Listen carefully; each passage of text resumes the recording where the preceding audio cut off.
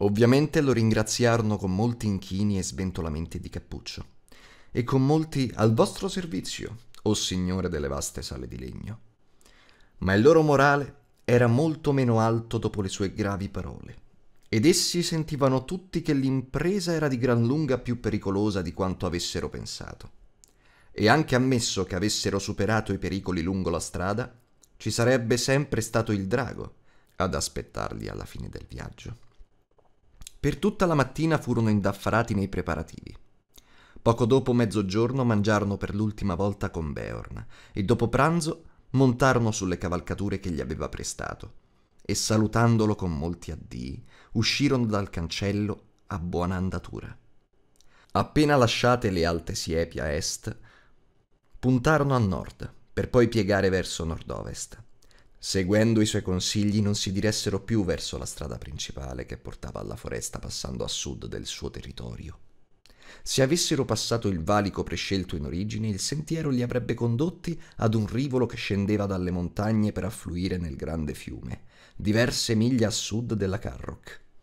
In quel punto c'era un guado profondo che avrebbero potuto passare, se avessero ancora avuto i loro poni, per poi trovare sull'altra riva una pista che portava al limitar del bosco e all'inizio della vecchia strada della foresta.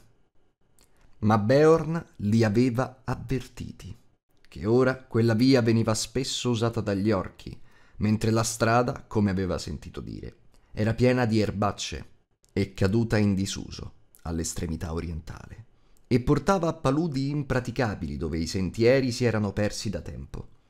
Lo sbocco orientale, comunque, era sempre stato molto più a sud rispetto alla montagna solitaria cosicché quando fossero arrivati dall'altra parte della foresta avrebbero dovuto fare un lungo e difficile cammino verso nord, a nord della Carrock. Il margine di Bosco Tetro si avvicinava alle sponde del grande fiume, e benché da quella parte le montagne non fossero molto distanti, Beorn aveva consigliato di optare per quel percorso. Infatti, a un certo punto, raggiungibile a cavallo in pochi giorni, si apriva un sentiero poco conosciuto, che attraverso Bosco Tetro portava quasi direttamente ai piedi della montagna solitaria. Gli orchi, aveva detto Beorn, non oseranno né attraversare il grande fiume per un centinaio di miglia a nord della Carrock, né avvicinarsi a casa mia. È ben protetta di notte. Ma vi conviene cavalcare in fretta, perché se decideranno di far presto la loro incursione, attraverseranno il fiume a sud e batteranno tutto il margine della foresta, così da tagliarvi fuori, e i mannari corrono più veloci dei poni. In ogni caso, sarete più al sicuro andando a nord, anche se vi sembrerà di tornare più vicini alla loro roccaforte. Questo, infatti, è ciò che meno si aspettano, e saranno loro a dover cavalcare più a lungo. Via adesso, più in fretta che potete. Questa è la ragione per cui cavalcarono in silenzio, galoppando dovunque il terreno fosse erboso e soffice, con le montagne scure alla loro sinistra e in lontananza la linea sempre più vicina del fiume coi suoi alberi. Quando erano partiti, il sole si era appena volto a occidente e fino a sera indugiò dorato sulla campagna intorno a loro. Preferivano non pensare agli orchi che li inseguivano. E quando ebbero messo molte miglia tra sé e la casa di Beorn, cominciarono a parlare e a cantare di nuovo e a dimenticare l'oscuro sentiero della foresta davanti a loro. Ma a sera, quando scese il crepuscolo e le vette delle montagne si stagliavano cupe e minacciose nella luce del tramonto, si accamparono e misero delle sentinelle, e la maggior parte di loro dormì male, facendo sogni in cui risuonavano gli ululati dei lupi famelici e le grida degli orchi. Al mattino seguente l'alba fu di nuovo vivida e bella, Intorno a loro si era alzata una nebbiolina quasi autunnale e l'aria era gelida. Presto però a oriente si levò un rosso sole e le nebbie svanirono. Mentre le ombre erano ancora lunghe, essi ripresero il cammino. Cavalcarono così per altri due giorni e per tutto il tempo non videro nulla tranne erba, fiori, uccelli, alberi sparsi qua e là e di tanto in tanto mandrie di cervi rossicci che brucavano a mezzogiorno sedevano all'ombra. Qualche volta Bilbo vedeva le corna dei maschi spuntare dall'erba alta e sulle prime pensava che fossero rami secchi. La terza sera erano così ansiosi di far presto, seguendo il consiglio di Beorn di raggiungere il sentiero della foresta il quarto giorno di buon'ora, che continuarono a cavalcare anche dopo il crepuscolo e nella notte sotto la luna.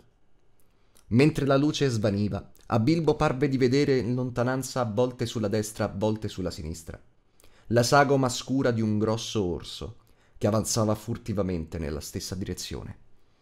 Ma appena osava accennarne a Gandalf, lo stregone diceva solamente Shh, non ci badare. L'indomani partirono prima dell'alba, anche se la loro notte era stata breve. Appena ci fu luce, cominciarono a vedere la foresta avvicinarsi come per venir loro incontro, o per fronteggiarli come un muro nero e minaccioso. Il terreno cominciò a salire e allo hobbit parve che su di loro cominciasse a calare il silenzio. Gli uccelli cantavano meno e non si vedevano più. Erano spariti perfino i conigli. Raggiunte le prime propaggini di bosco tetro, si riposarono quasi sotto i grossi rami sporgenti degli alberi più esterni. I tronchi erano grossi e nodosi, i rami contorti, le foglie scure e lunghe, l'edera gli cresceva attorno e correva lungo il terreno.